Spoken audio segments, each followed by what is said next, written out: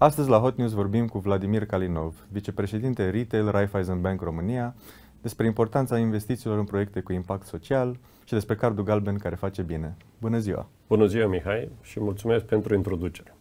Ați lansat de curând cardul galben care face bine. Povestiți-ne cum funcționează. Într-adevăr, am lansat uh, cardul galben care face bine, ca premieră pe piața românească și vrem să dăm șansă la toți clienții noștri, prin utilizarea cardului, să participă la construirea a doua etapă uh, campusului medical la Marie Curie. Așa că mecanismul este foarte simplu. Pentru fiecare tranzacție pe care clienții fac cu cardul, Banca Raiffeisen va face o donație în favoare Asociației Dorește Viața. De ce ați ales specific Dorește Viața? Am ales uh, Dorește Viața pentru că este un uh, proiect foarte interesant și care, într-adevăr, uh, susține dezvoltarea mai departe a comunității noastre. Așa că împreună cu peste 350.000 de persoane fizice români și peste 8.000 de companii, au reușit în ultimele 12 ani să construiesc un spital de la zero, care este un, aș spune, moment foarte, foarte important în istoria noastră economică, în sensul în care vedem mai multe inițiative din sistemul privat în care, întorcând partea din profiturile și participând la aceste dezvoltări în uh, comunitatea noastră, reușesc să ne pune la o etapă mai modernă în dezvoltarea noastră. Proiectul uh, în sine este un proiect uh, complet nou pentru București și în plan național, putem spune, și va servi comunitatea at large. Uh, cum va funcționa acea susținere a Dorește Viața cu un milion de euro de către Raiffeisen Bank?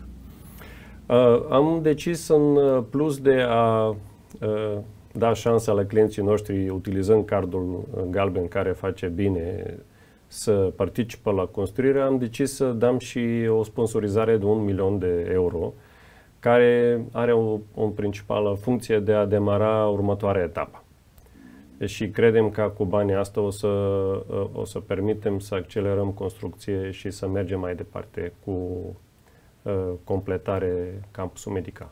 Ce puteți să ne spuneți despre trecerea în exclusivitate la cardul Visa? Visa este un partener al nostru foarte vechi. Este lider în uh, plății, liderul mondial în plății digitale, așa că nu este întâmplător.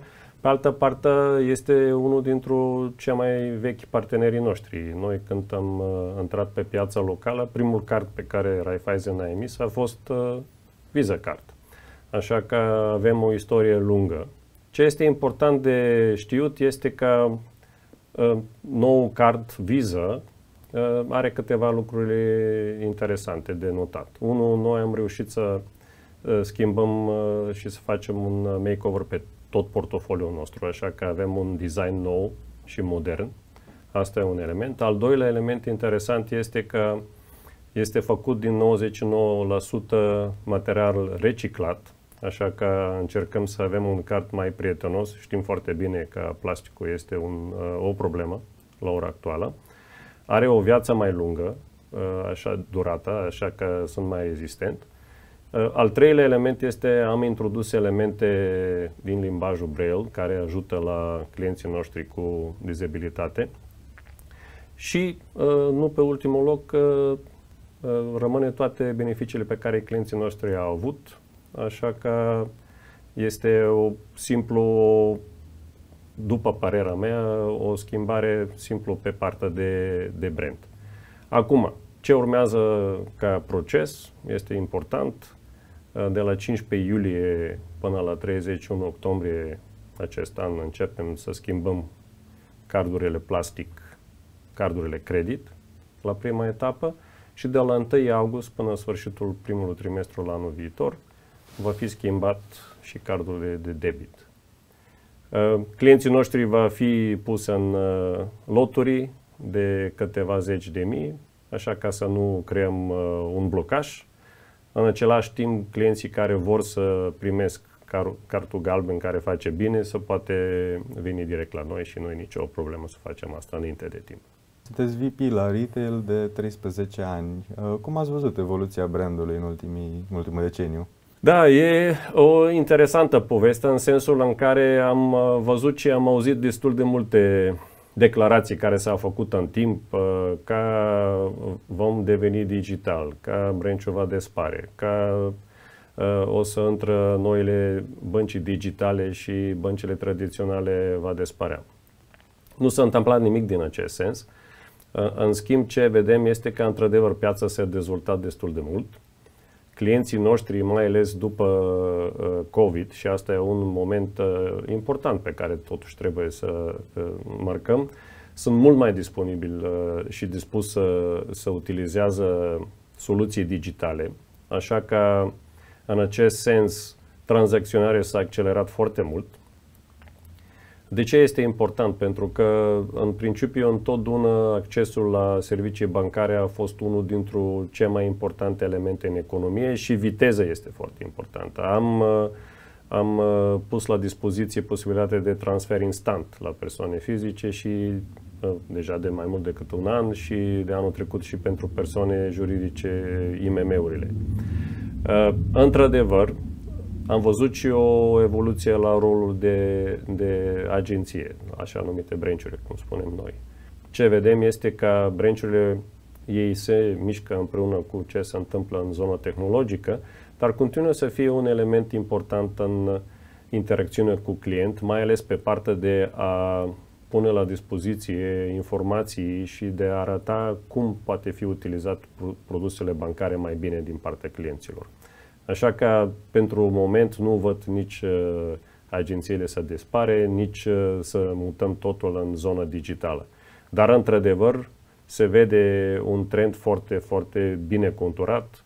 În zona noastră, de exemplu, peste 60% din clienții noștri utilizează aplicația noastră mobilă zi de zi, uh, ce este un pas foarte mare spre a simplifica lucrurile, spre a economisit timp de a merge la bancă pentru anumite lucruri mai simple și spre a, a atinge un nivel de calitate de servicii mult mai bun pentru că lucrurile se întâmplă instant.